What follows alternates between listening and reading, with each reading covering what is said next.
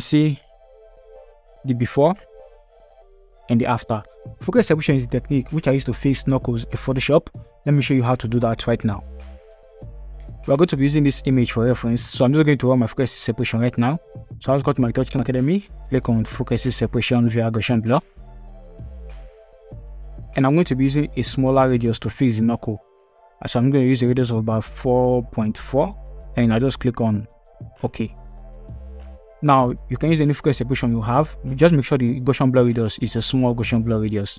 And after that, I'm just going to pick my mixer brush tool. So I come to my toolbar, pick my mixer brush tool. Since we successfully separated our texture and our colors and the knuckles for this image are colors, I'll just pick my mixer brush tool. I'll just come to my corrective tone because I want to work only on the colors of this image. So I'll hide my high frequency texture and I'm just going to see only the colors. So what I'm going to do right now, I'm just going to brush those bright parts into this dark part of the knuckles like this. So I'm just going to increase the brush size, just brush from this bright side into the dark side because I'm mixing the colors right there. It's not going to affect the textures. That's why I first of all separate the colors and the texture so that I can work on the colors separately and also work on the texture separately if I need to. But right now, I'm just going to work only on the colors because we're trying to fix those dark colors right there on the knuckles. So I'm just going to brush in those bright parts into these dark knuckles like this. So let's quickly see the before and after of what we just did. If I turn on my high frequency texture back on, you can see the before, you can see how dark the knuckles are looking. And um, this is the after, you can see how bright they are looking right now, before and after. So I'm just going to continue doing this for the whole of this image and I'm still going to show you how you can even fix it more.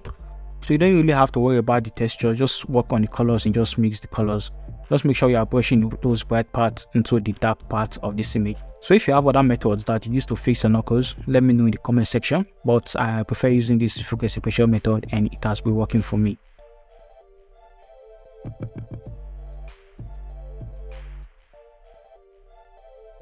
Now let's see how before and after.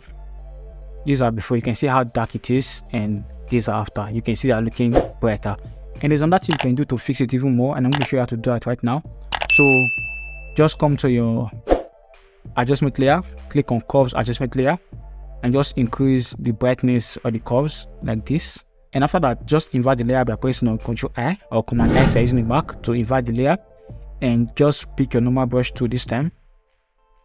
Once you pick your normal brush tool make sure opacity is set to 100 flow is set to 100 make sure you're using a white brush. So just click on this icon right here to change your brush to white and just paint on the knuckles like that to make it brighter. Like that. So this is another way you can make your knuckles bright or rather fix your knuckles like that. And after that i'm just going to come to my mask and just feather it to make it blend like that. Let's say 8 pixels 8.5 pixels is okay. And then choose to reduce the opacity if you want to. So i'm just going to reduce the opacity a little bit. Now you can see let me just go it and show you the before and after. This is the before and this is the after. The before and the after. Now i'm just going to give you a quick tip. If you are working on an image that requires special attention to the knuckles i advise to create a special and a separate frequency separation just for the knuckles. Let me show you what i mean by that. For example look at this image right here. I've done the frequency separation for this image. So this is the before and this is the after but if you look at the knuckles, you can see knuckles are still dark. So what I'm going to do right now, this is not a this is not an extreme case. But if you have an extreme case that you have to work on the uh, knuckle separately, after doing your frequency separation, just create another frequency separation action just for the knuckle. So I'll create another frequency separation right now. I'll click on my frequency separation via Gaussian blur and I'll just reduce the radius to about 4 and click on OK.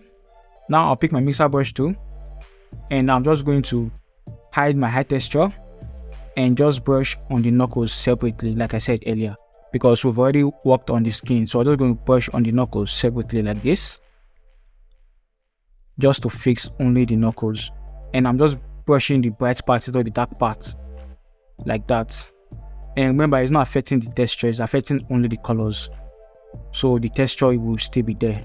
But let's see the before and after. You can see the before and the after so if you have an extreme situation that requires special attention to the knuckles, that's how you can fix it. If you find this video helpful, make sure to give it a like So I hope you can see this video and learn from this video as well. If you want to learn how to use the mixer brush, make sure to click on this video showing right here. Yeah. I'll see you guys in my next video. Stay creative.